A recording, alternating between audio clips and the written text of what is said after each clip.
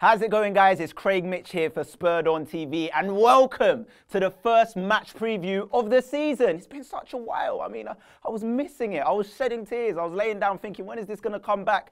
And now it's arrived. The first match, we've got Manchester United away at Old Trafford, and I'm going to give you my score predictions. I believe it's going to be 1 1. I know a lot of people ain't going to agree with it. I know a lot of people are pessimistic, but not me. Man United are in a weird place right now. I feel like we haven't got anything to lose. We're going to go out there apart from the match. Uh, we're going to go out there, give it our all. I don't think Harry Kane's going to score though. I, it's going to be a random player. It's going to be it's going to be someone like Chadli. I think Chadli's going to score. Who's going to score for them though? That's the question. Would it be Schweinsteiger?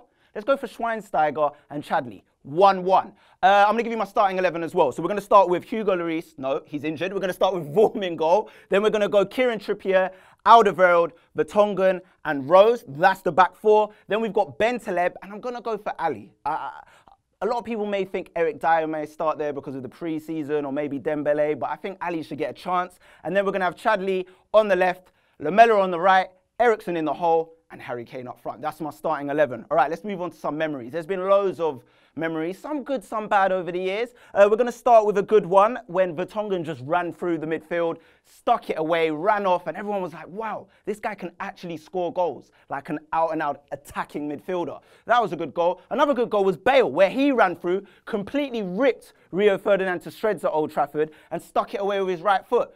Fergie, before the game, called him Christian Bale. That probably got him fired up. Said, I'm not Batman. I'm not Batman, but he was a hero because he wanted to score a goal. Uh, a bad memory, though, is Mendes, Pedro Mendes. Scored from the halfway line, absolutely amazing goal. It was about four yards over the goal line. There was no such thing as goal line technology. I don't even think there was another official on the side.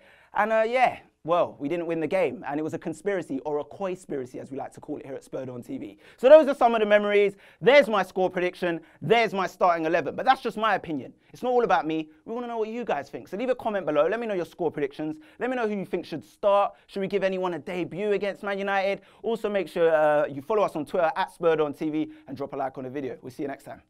Here we are outside the Allianz Arena, and we are officially the third best team in the Audi Cup 2015. Tottenham Hotspur 2, AC Milan nil.